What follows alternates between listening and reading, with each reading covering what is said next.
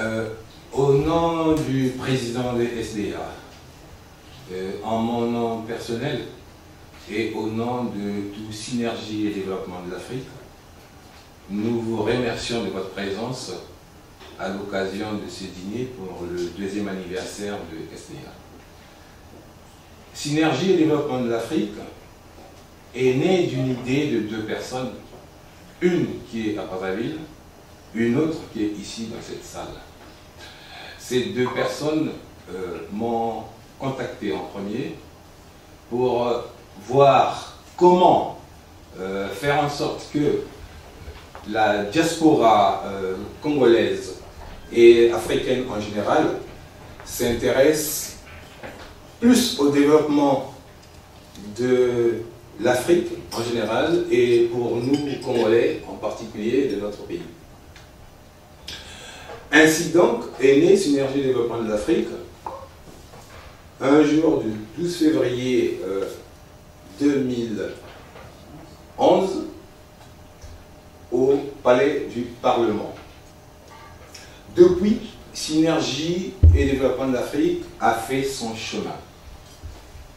Chemin qui a consisté à faire en sorte que un travail d'éveil soit fait en direction des Africains en général et des Congolais en particulier qui sont à l'étranger, donc la diaspora, pour que ceux-ci tournent leur regard vers leur pays d'origine. Pour ce faire, donc, Synergie Développement de l'Afrique, dans son programme d'activité, son plan d'activité qui s'intéresse uniquement au développement de l'Afrique, a fait en sorte que les associations ne demeurent pas uniquement des associations d'alerte, mais des associations qui intéressent plus, qui s'intéressent plus au développement de leur pays. Pour ce faire, en 2012, Synergie et Développement de l'Afrique a réalisé un certain nombre d'activités qui sont des activités qui concernent principalement le devenir des différents pays africains et en particulier pour nous, le devenir du Congo, en s'intéressant particulièrement à la santé d'une part et à l'éducation d'autre part. Donc, nous avons commencé l'année avec un colloque sur la santé qui avait pour thème l'implication de la, diaspora pour l'amélioration du système de santé au Congo-Brazzaville. Ce colloque a donné naissance à l'issue d'un voyage des professionnels de la santé à Brazzaville qui ont été reçus par le président de la République, a donné naissance à la DSPSD, la délégation spéciale des professionnels de la santé, qui, au demeurant, a prouvé que SDA a eu raison de s'intéresser à ce problème particulier, car, hélas, le 4 mars est arrivé chez nous, et nos professionnels de la santé, la DSPSD, ont joint leur force, leur dynamisme, leur savoir avec les nationaux sur place, les internationaux qui sont venus nous aider pour participer à soulager la peine de ceux qui avaient presque ou sinon tout perdu. Ainsi donc, quatre missions ont été organisées sur une durée de deux mois et demi par les professionnels de la santé de la diaspora. À ceci, SDA a joint des professionnels psychosociaux compte tenu du trauma qu'il y a eu à l'issue de cet événement, donc des professionnels psychosociaux ont été dépêchés par STA sur Brazzaville sur une durée de un mois et demi. Nous voyons donc que SDA a eu raison de s'intéresser à la santé.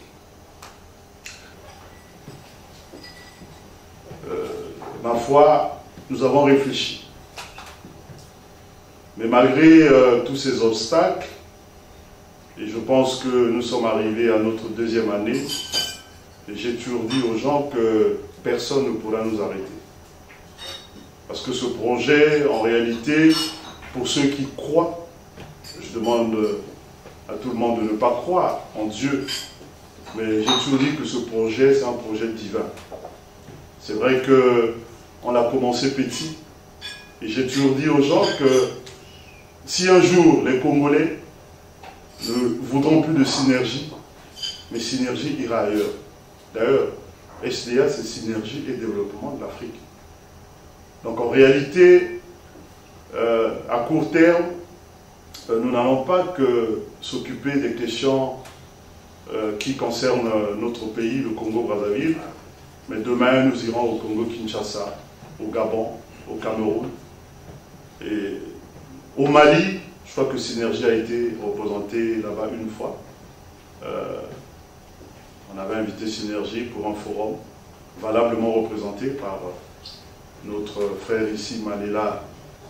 Euh, et pour dire que c'est un plaisir pour moi, et j'avais insisté auprès de, des responsables de synergie ici à Paris, qu'on puisse inviter un certain nombre de personnes ressources. L'objectif, ce n'était pas d'avoir euh, beaucoup de gens, mais d'avoir des personnes qui, pour nous, peuvent compter demain, ou encore qui comptent aujourd'hui dans notre diaspora. Et j'avais insisté que ce soit les responsables d'associations. Euh, je pense que les amis ici ont essayé de chercher un certain nombre d'associations qui œuvrent à contribuer au développement de notre pays. Euh, ils sont ici dans la salle.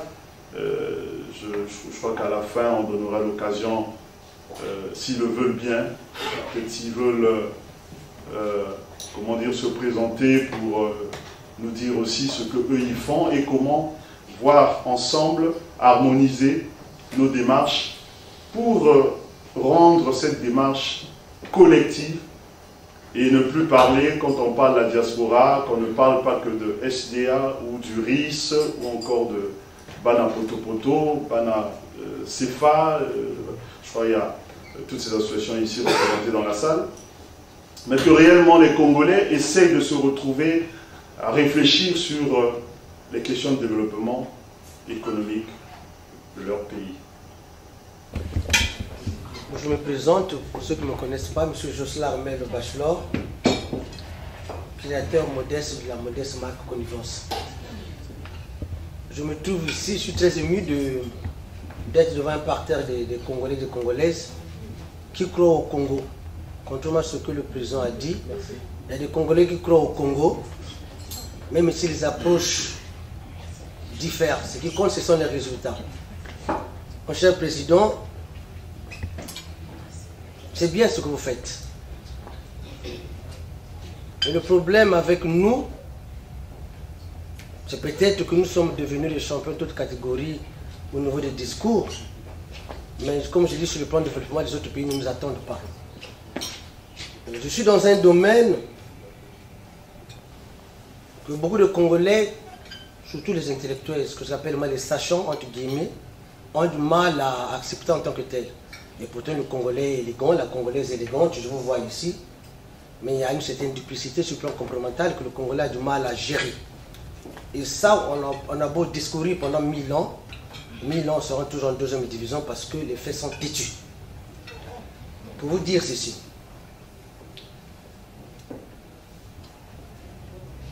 Le quartier où je me trouve, il y a beaucoup de Congolais qui sont là-bas. Je ne dis pas qu'ils ne sont pas sachants, mais ils aiment le Congo, ils ont l'amour du Congo autant que nous sommes ici. Mais ils ne sont pas représentés ici. Modeste, moi je pense que je suis le petit porte-parole. Et le Congo de demain que nous voulons bâtir, il sera autour des actions économiques. Mais lorsque dans une économie, vous avez besoin d'un parrain pour avancer, c'est un peu très difficile. Moi, je n'ai pas de parrain. Les seuls parrains que j'ai eus, ça s'appelle les médias sur la place de Paris.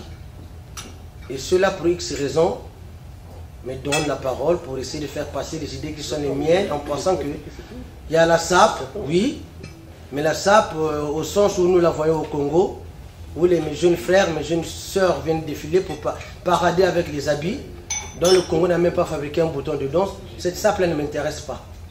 Mais, modestement, j'essaie de dire attention. Je me suis lancé dans cette euh, quête identitaire qui est la SAP, en essayant de donner une vision économique. Et quand je vais à Brazza, dans les médias, j'essaie de leur dire. Et j'ai même eu l'outrepudence une fois de m'adresser au président de la République via les médias nationaux. Donc j'ai assumé que je sache. En disant, l'élégance que nous avons du, premier Congolais au dernier Congolais, le Congolais ne vend même pas un slip dedans pour, pour parler de manière vulgaire. Alors qu'on pouvait, autour de cette, euh, de ce mouvement, bâtir une certaine stratégie. Jusqu'à présent, à part certains Congolais qui viennent, qui comprennent que là, il y a un, il y a gisement d'emploi. Parce que comme j'ai dit tantôt, le gisement d'emploi, il n'y a pas celui qui a elle, il faut qu'il y ait la SNPC, des choses comme ça. Les gens passent des meilleurs. Mais si ça suffisait pour développer un pays, ça se saurait. Donc aujourd'hui, il faut qu'on se dise, si vraiment la, volonté c'est de développer un pays, alors euh, vous pouvez compter sur moi. Mais dans ce cas-là, dialoguons quoi. Parce que j'ai l'impression que nous ne dialoguons pas.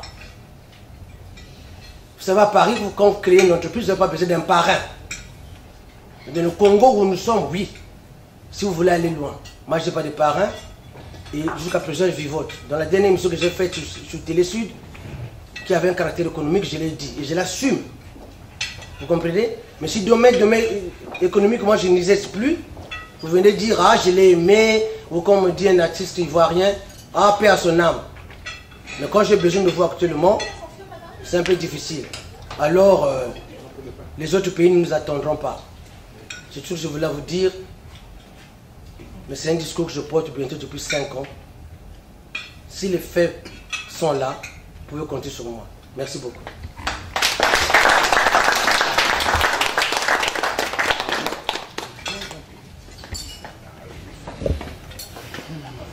Euh, bonjour madame. Bonjour. Euh, est-ce que vous pouvez vous présenter, nous dire euh, qui vous êtes, qu'est-ce que vous faites dans la vie et pourquoi vous êtes ici? Je m'appelle Arlette Lukaku, je suis économiste, donc j'ai un doctorat en économie obtenu à Nice. Et aujourd'hui, je suis, je travaille à la BNP Paribas à Paris, et je suis aussi la, la, présidente de l'association Banambraza. Donc j'ai été invité par euh, l'association SDA pour pouvoir euh, assister au débat d'aujourd'hui et voir éventuellement leurs leur projets, si Banabraza peuvent adhérer à ces projets.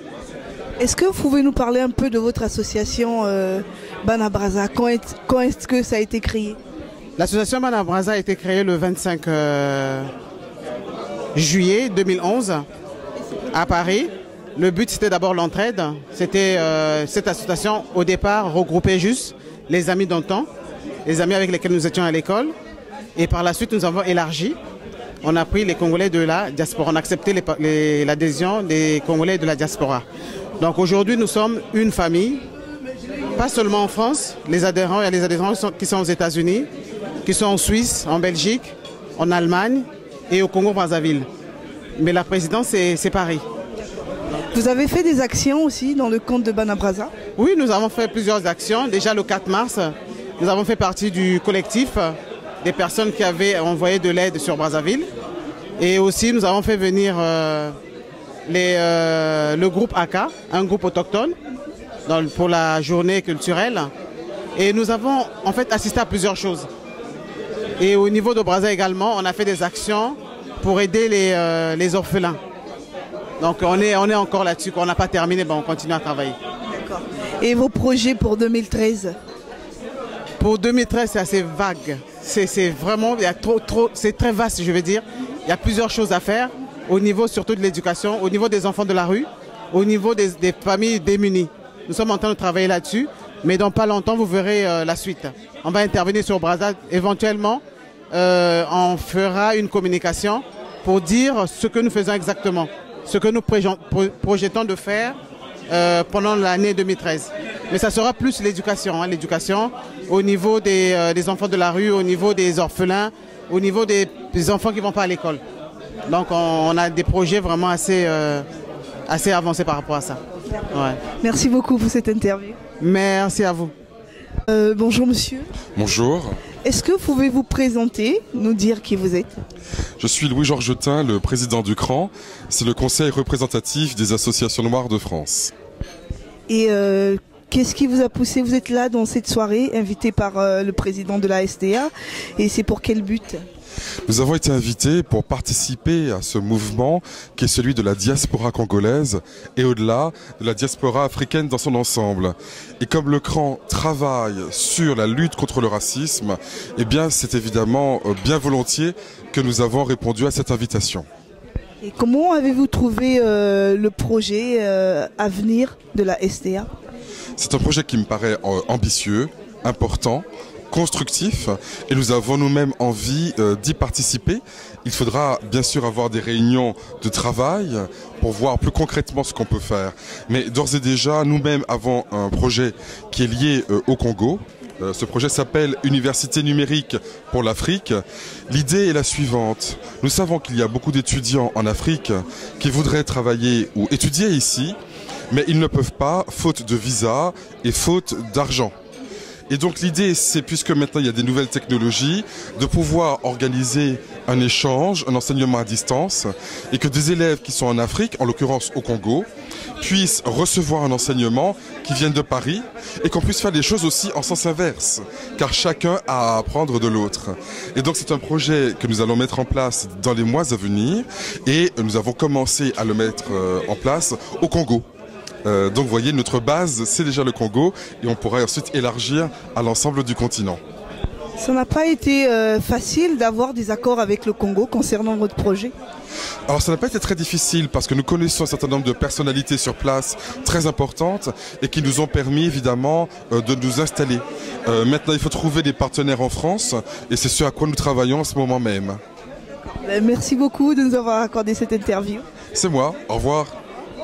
Euh, bonjour monsieur Bachelor. Bonjour madame, merci. Vous êtes, euh, vous faites partie euh, de la fierté congolaise, des Congolais dont on est fier ici sur la place de Paris. Et euh, je vais vous demander encore de vous présenter pour ceux qui ne vous connaissent pas, mais je crois que tout Brazzaville, tout le Congo, même sur la place de Paris, on doit vous connaître. Bon, je me présente, je suis monsieur Joslar Mel euh, Bizo Bindikou, dit le Bachelor, créateur de la marque Connivence. Aujourd'hui, j'ai deux boutiques à Paris et une boutique sur Internet, voilà. Ce que je suis. Et vous êtes invité aujourd'hui à la soirée de STA. Et euh, pourquoi vous êtes là? Parce que je suis, je suis là pour euh, leur témoigner mon estime. Parce que le- le- d'aucuns pensaient que je boudais la SDA. Non, je boudais pas la SDA parce que mon calendrier ne, ne, ne- ne concordait pas avec leurs événements. Je suis venu pour leur dire que leur discours est le mien. Pour leur dire qu'aujourd'hui, il faut que la diaspora puisse parler à tous les Congolais. Pas aux Congolais d'une certaine élite. Ici, on a des médecins, on a des chefs d'entreprise, mais je pense qu'il n'y a pas que euh, le Congolais qui vend des habits à Château Rouge, qui se trouve à Château d'eau, qui se trouve partout. Reste le Congolais. Il faut essayer de drainer tout ce monde-là autour d'un projet fédérateur pour leur dire ceci.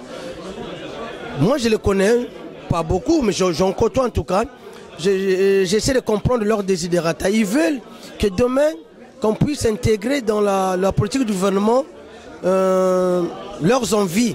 Leurs envies, c'est quoi? Tout le monde ne connaît pas un général, tout le monde ne connaît pas le président de la République, tout le monde ne connaît- ne connaît pas un ministre. Mais ils ont envie de rentrer. C'est pourquoi je, je demande toujours de mes voeux qu'il y ait demain un ministère de la diaspora. Ce ministère de la diaspora pourra fédérer toutes ces énergies. C'est pas parce que je le défends que je vais l'occuper. Non, non, franchement, c'est pas ça. Parce que les autres pays, tous les pays émergents, à un moment donné, se sont aussi appuyés sur leur diaspora quand celle-ci existait. Nous, cette fois-ci, la diaspora congolaise existe. Elle essaie de se mouvoir. Elle est devenue un peu efficiente. Il faut aller dans ce sens-là pour essayer de canaliser tous ces efforts. Mais maintenant, pour le reste, ça reste des œuvres humaines.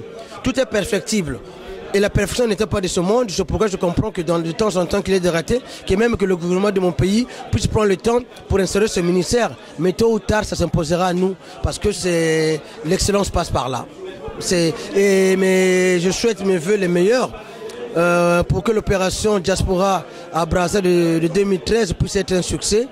Je pense que ça va encore donner du tonus à ce mouvement-là. Merci beaucoup de nous accorder cette interview. Merci. Bonjour monsieur. Vous allez euh, vous présenter, nous dire un peu qui vous êtes. Je suis monsieur Mpassi Joseph, vice-président de l'association Banacefa. Bon, l'association Banacefa a vu le jour le 1er janvier 2012. Et euh, bon, je dirais, ça fait une année qu'on existe. Oh, euh, pour le moment, c'est l'entraide. Pour, et puis on a un projet, c'est promouvoir la langue française au niveau du Congo. C'est-à-dire récupérer les livres ici et les ramener ici. Et tout cela à titre gratuit. Pourquoi vous faites avoir appelé euh, votre association Banacefa Banacefa, ça veut dire euh, Congo France Assistance. Ça veut juste dire c'est Banacefa. Bon, Banacefa, c'est Congo France Assistance, quoi. C'est tout, hein. Vous avez été invité aujourd'hui par le président de la SDA et vous, avez répondu présent. C'est pourquoi? Ben, C'était déjà savoir le contenu.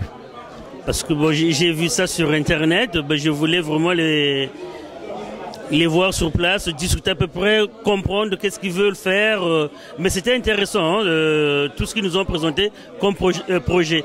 Effectivement, bien qu'il y a eu quand même discordance, on ne peut pas toujours dire oui, oui, oui, oui à tout. Vous savez, les Congolais a aussi la parole. Hein. Bon, et puis les actes euh, suivants après. Mais là, je trouve qu'en parlant, c'est du concret. Mais attendons maintenant, l'avenir nous le dirait quoi. Merci beaucoup de nous avoir accordé cette eh ben, Je vous en prie, chère madame, merci beaucoup. Merci Bonjour monsieur. Bonjour. Euh, est-ce que vous pouvez vous présenter à notre public Alors je suis euh, Ambroise Loemba, donc je suis membre fondateur du RIS, donc qui est le réseau international des Congolais de l'extérieur. Voilà, donc je suis ici euh, invité par le SDA et je représente en même temps donc la présidente du RIS qui faisait partie de l'invitation et qui n'a pas pu venir. Et euh, comment vous avez trouvé euh, la soirée, le discours du président de STA et les projets à venir? Alors j'ai trouvé ça très intéressant, euh, surtout qu'ils nous ont parlé de projets concrets qu'ils ont menés sur le terrain au Congo-Brazzaville, également avec leurs actions avec le gouvernement. Apparemment, ils agissent beaucoup pour influer le gouvernement sur leurs actions. Euh, et puis, euh, d'autre part, j'ai pu constater que, il, comme il l'a dit lui-même, qu'il a essayé de parler avec son cœur. Donc ça, c'est important. Ouais. Et il était touché par ça.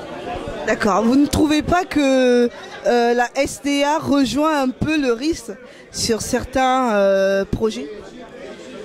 Alors, c'est normal, oui. Et plus on sera, mieux ce sera. C'est vrai, le, même si on peut considérer que le Congo est un petit pays avec 5 millions d'habitants, euh, mais en même temps, je pense que toutes les forces sont nécessaires parce que euh, nous sommes complémentaires.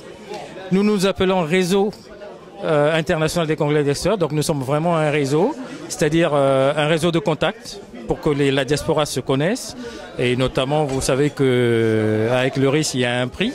Hein, qui est le prix de la diaspora congolaise, qui permet de mettre en avant les talents de la diaspora. Donc pour les faire connaître, nous sommes là pour encourager, pour montrer que c'est possible, mettre en contact, euh, voilà. Alors que SDA est plutôt un peu plus sur le terrain au Congo-Brazzaville par rapport à nous. Ils sont plus euh, dans des actions au cœur du et ils font eux. Alors que nous, nous euh, comment dire, nous instillons, nous encourageons, nous suscitons. voilà. Donc, je pense que nous sommes complémentaires. C'est bien dit. Les associations sont nécessaires. Voilà. Et donc, euh, quels sont les projets d'avenir du risque, si on peut se permettre de pouvoir avoir quand même un peu euh, ce secret-là Les projets immédiats, euh, donc là je l'ai annoncé et nous l'avions annoncé déjà lors du, de la dernière édition du, du prix RIS, c'est que le prochain prix RIS se passera au Congo.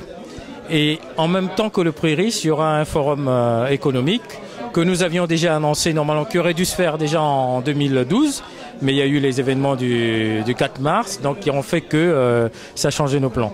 Donc euh, là, dans un avenir euh, assez immédiat, donc avant la fin de l'année, il y aura voilà le prix RIS et un forum économique qui se passera au Congo. Merci beaucoup pour cette interview. De rien. Je suis Renée Yolande Brigitte Obombi, marraine de la diaspora. D'accord. Et vous avez l'association, vous représentez euh, l'association Accès, si j'ai bien compris. Oui, je représente l'association Accès. Accès qui veut dire euh, authentique, culture, civilisation, éducation et santé. Et quels sont, euh, quel est votre bilan ici en France? Quelles sont les actions que vous menez? Ben, Nos actions sont menées ici et là-bas. Donc ça veut dire en France et au Congo. Donc euh, depuis un certain temps, on est sur euh, la rencontre des enfants des neuf arrondissements de Brazzaville. Donc faire en sorte que les enfants de Brazzaville se retrouvent et se fréquentent, se connaissent et restent ensemble. Donc le vivre ensemble, euh, c'est notre principale activité actuellement. Et puis, on va vers la rencontre de notre patrimoine, donc la rencontre de la culture, la connaissance de notre patrimoine. Et donc, euh, vous êtes là ce soir, vous avez rejoint au fait euh, la SDA. Euh, c'est pourquoi? C'est pour quel but? Ben, C'est, comme on dit, se mettre en contact, créer une solidarité, une synergie pour que la diaspora aille de l'avant, pour que les compétences que nous on a pu acquérir ici, qu'on les mette en valeur au Congo avec euh, le soutien de tout le monde parce que chacun de nous agit diaspora, diaspora, mais il n'y a qu'une seule diaspora et qu'on doit se mettre ensemble et ensemble on peut faire beaucoup de choses. Merci beaucoup madame de nous avoir accordé cette interview. Merci. Et je, je veux préciser que nous sommes une association qui vient juste de naître, non Association Loi 1901, et je pense que votre projet incarne à la merveille ce qu'on peut faire. C'est-à-dire que euh, on peut transvaser les connaissances. Vous avez l'expertise, nous avons la maturité, la fougue et l'envie, n'est-ce pas, de, nous mettre sur votre créneau. Et je pense que la synergie que vous incarnez peut euh, s'opérer dans le cadre d'une coopération SDA à tout diaspora. Ce qu'on peut apporter euh, aux Africains en termes de capacité intellectuelle, en termes de moyens humains, en termes de moyens matériels.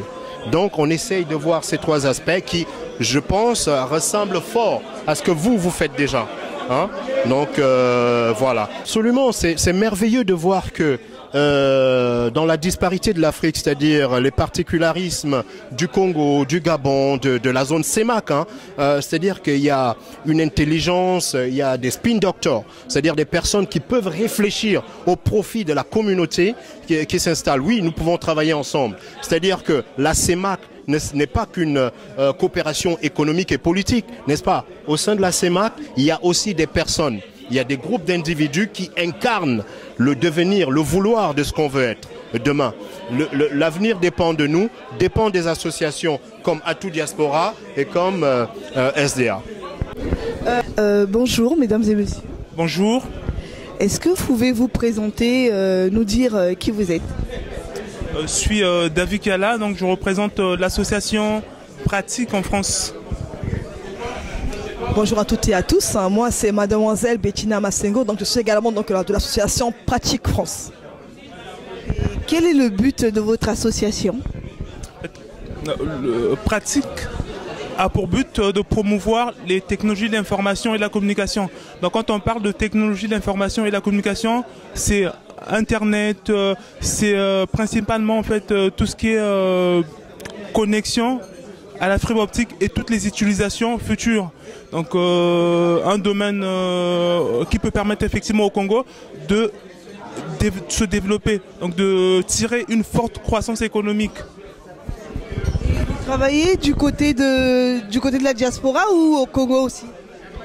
Alors en fait, Pratique, c'est un groupe de personnes qui ont à cœur le Congo, de voir le Congo meilleur. Donc en fait, on est partout dans le monde. On est en France, on est euh, euh, à Dakar, on est aussi en Belgique. Donc en fait, on est vraiment réunis parce qu'on a cœur le Congo. On veut, tout en étant en France, vraiment contribuer, euh, donc comme a dit mon collègue David, vraiment à, améliorer donc tout ce qui est éthique au Congo en fait. Donc on est répartis partout, à Brazzaville, en France, en Belgique, à Dakar. Et donc d'autres euh, pourront encore voir lui dans quelques jours, dans quelques semaines. Vous êtes venu aujourd'hui euh, à la réunion euh, de la SDA et euh, c'était pourquoi? En fait, on a été convié par les responsables de SDA et nous sommes là vraiment pour soutenir cette initiative parce que elle va dans la même direction que ce que nous faisons au niveau du Congo. Donc la promotion des technologies de l'information afin de permettre effectivement au Congo d'être plus visible dans le monde à partir des plateformes web afin de permettre aussi au Congo de se développer en utilisant les technologies de l'information et de la communication. Donc nous sommes là vraiment pour soutenir l'œuvre, l'initiative de SDA. Vous pouvez me dire euh, quel est euh, le bilan déjà de pratique depuis que vous avez commencé? Ça fait combien de temps et euh, qu'est-ce que vous avez déjà fait? Alors, pratique en fait existe de- depuis 5 ans. Donc en fait, on, est né hein, depuis donc, euh, 2008, mai 2008. D'ailleurs, en fait, nos 5 ans en mai 2013. Et donc en fait, pratique a d'abord commencé en faisant des réunions donc avec des personnes, donc des Congolais de la diaspora ici en France, donc euh, sur voir comment on pourrait contribuer donc à l'avancement donc des Chics au Congo. Donc on a fait des rencontres avec euh, plusieurs personnes qui ont répondu présentes. On a également fait donc un SINUC au Congo, donc le symposium international du numérique au Congo. Donc en fait, on avait fait des formations euh, dans tout ce qui était euh, en fait, pour aider les étudiants congolais à se servir euh, de différents logiciels, mais aussi de tout ce qui était Word, Excel, etc. Donc en fait, on a aussi fait tout ce qui était école mobile, donc à savoir euh, voir comment est-ce qu'on pouvait intégrer euh, les nouvelles technologies dans l'éducation, dans la santé. Et on a fait également un salon de l'étudiant, donc le CIPEC. Donc justement, on fait encore une édition en 2013, en mai 2013. Et donc voilà, donc c'est vraiment des projets qui touchent autant la jeunesse, autant vraiment tous les secteurs d'activité. Le but étant que demain, le Congo soit équipé euh, en nouvelles technologies, quoi, qu'on soit réellement avancé comme dans tous les autres pays de l'Afrique et de l'Europe, entre autres. J'aimerais juste rajouter parce que effectivement pratique a énormément contribué euh, pour le développement des TC au Congo. Donc il y a un point très important, c'est euh, des réflexions, des analyses et des propositions qui ont été faites au niveau de pratique qui sont aujourd'hui intégrées dans la politique nationale. Donc pratique euh, a fait plusieurs propositions. Certains aujourd'hui sont appliqués au Congo et il y a d'autres propositions qui sont en train d'être intégrées dans la politique. Donc l'idée vraiment de pratique, c'est de faire avancer les TIC au Congo. Si euh, on veut rentrer en contact avec vous ici, qu'est-ce qu'on doit faire? Comment faire? Euh, pour entrer en contact avec nous, que ce soit en France, au Congo ou partout on a euh, des, représenta- des représentations, il faut juste passer par le site internet Pratique Congo. Pratique-congo.com ou. Donc avec le site pratique-congo, on arrive à nous joindre euh, partout euh, euh, dans le monde. Donc on a plusieurs représentations. Donc il y a une partie de la France, une partie au Sénégal, au Congo un peu dans le monde. Donc quand vous nous contactez, c'est le pays, la représentation la plus proche qui prend contact avec vous pour euh, participer aux activités de l'association pratique. Merci beaucoup pour nous avoir accordé cette interview.